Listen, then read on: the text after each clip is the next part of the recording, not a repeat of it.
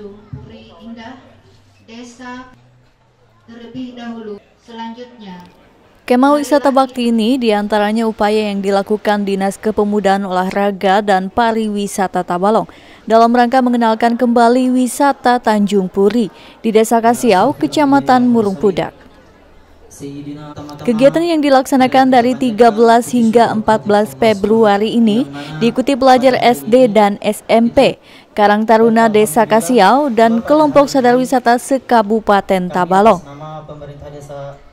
Selama kegiatan juga dilakukan penanaman pohon penghijauan dan pembersihan lingkungan wisata Tanjung Puri, serta penanaman beberapa jenis pohon buah lokal, di antaranya kemundai dan pitanak.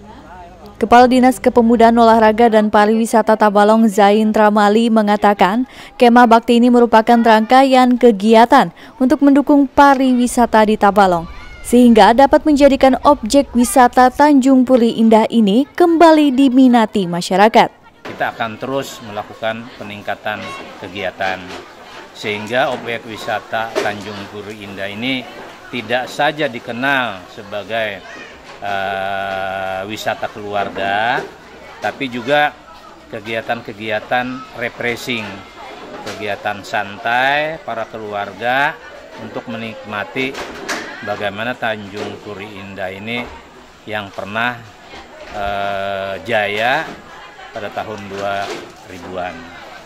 Nah ini akan kita kembalikan eh, nama baik Tanjung Puri Indah ini.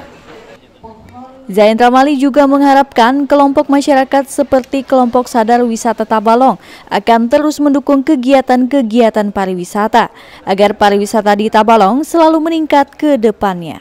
Haris Muhazir TV Tabalong melaporkan.